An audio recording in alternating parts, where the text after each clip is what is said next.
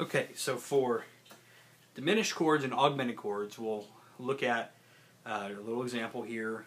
Remember, when you're augmenting a chord, you're raising a note. In this case, for an augmented seventh, we're taking the fifth in the, in the key of C. We're taking the fifth and we're going to make it sharp. So it's going to make that C, E, A flat. Remember the pattern is no matter what key you're playing in, no matter what chords you're playing, if you're going to augment it to lead it in, you're going to raise the fifth a half a step or you're going to make that sharp. So for C, it looks like this. See the difference there?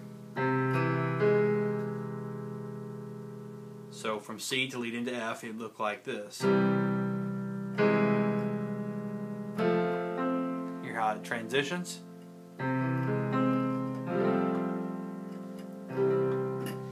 Now, for a diminished chord, what you're going to do, you're going to take the, the, the first note or the root note, the one, in any chord, you're going to take that and you're going to drop it half a step.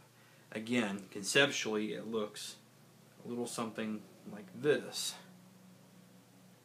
And a lot of times you're going to roll that into a seventh.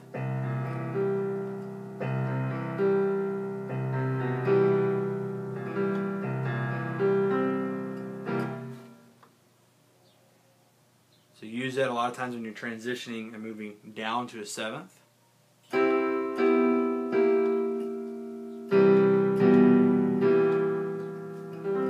those are diminished chords. You're always going to move your, your root note, your number one, you're going to move that down a half a step. You're going to flat it.